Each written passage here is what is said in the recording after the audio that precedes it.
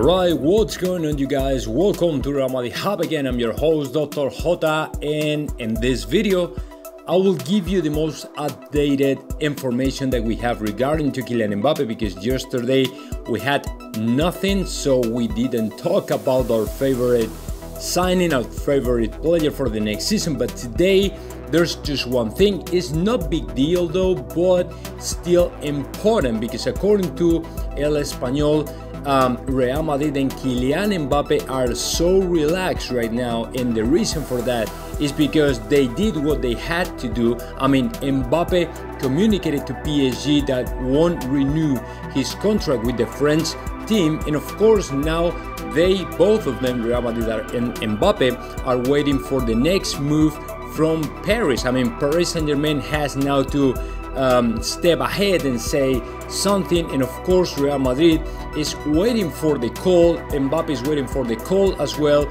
So when PSG, when Al Khelaifi finally understands that Mbappe wants to stay any longer in PSG, and that will happen, in my opinion, about the end of this month, maybe July, the end of uh, July or first days of August, then PSG allegedly will make the call to Real Madrid to negotiate for Kylian Mbappe. So that's why whatever we hear about that before those days, in my opinion, will be fake because Real Madrid now and Mbappe as well are waiting for PSG to move ahead and do something. And in my opinion, the only move possible for PSG right now is to make the call to Real Madrid and accept this situation and say, hey, let's sit down on the table and let's try to reach a deal for the French player and that's it. So nothing is going to happen. Real Madrid won't do any other single move. Real Madrid just be there,